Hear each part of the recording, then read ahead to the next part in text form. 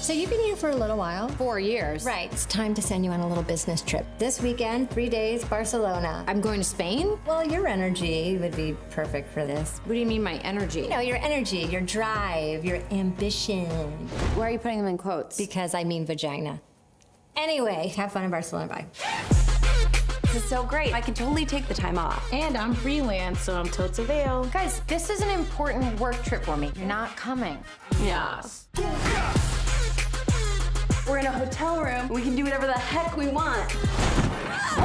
Nikki! I'm fine. You I sure? Just, yeah, I just didn't know it was two beds. Guys, the DJ?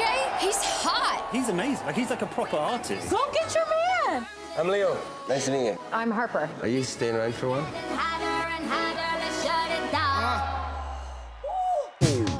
No, Ibiza, uh, please, I'm in Ibiza. We had like a real connection. Listen to me.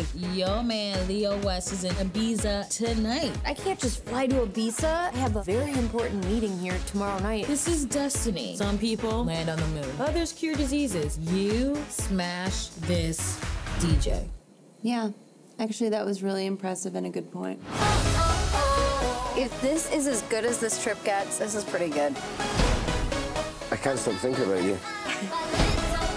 This could be my last chance to ever see him again.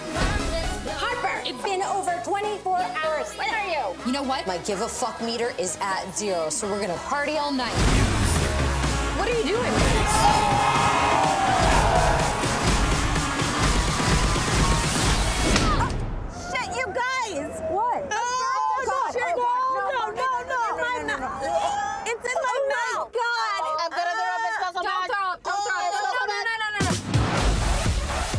Hotel rooms are blacklight nightmares. There's like residual jizz everywhere. Okay, I have this slack light out. Test this jizz theory.